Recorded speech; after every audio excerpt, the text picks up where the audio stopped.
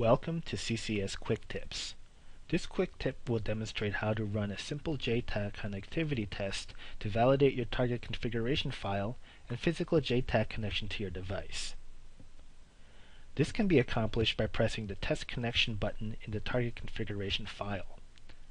This will have CCS automatically execute various low-level JTAG tests on the configured device.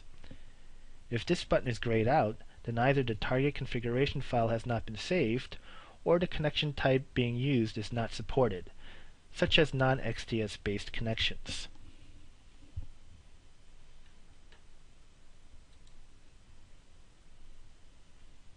When I press the button, a dialog will appear with the results of the test.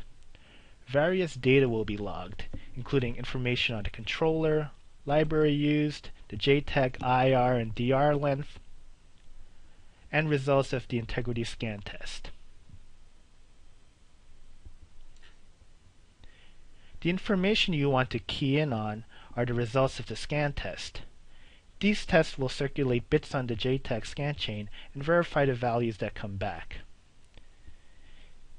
If all JTAG integrity scan tests for IR and DR pass, then you have a good JTAG connectivity between your device and the debugger.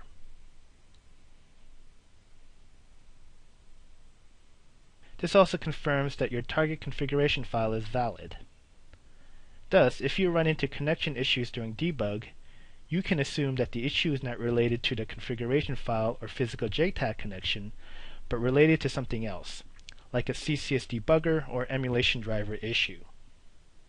However, if these scan tests fail, then there is likely some issue with the target configuration file or some issue with the physical JTAG connection itself. It could be a bad physical connection or perhaps interference that is impacting the signal. Thank you for watching this quick tip, and have a good day.